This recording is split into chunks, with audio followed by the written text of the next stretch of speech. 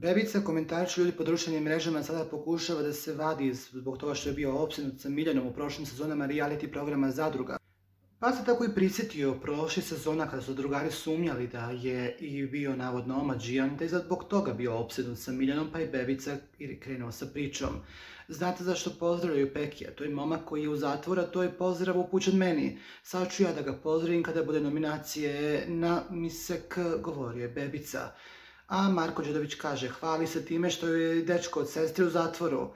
Ubio dečka zbog nje, zbog Tijene je ubio čovjeka, govorio je Bebica. I ona, aludirajući na Miljanu, ga pozdravlja, šokirao jednostavno. Pa je i Bebica krenuo sa pričom.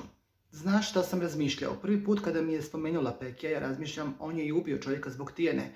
Onda i ne čudi što su povezivali moje poteze sa vračbinama, završio njegovu rečenicu Marko Čedović.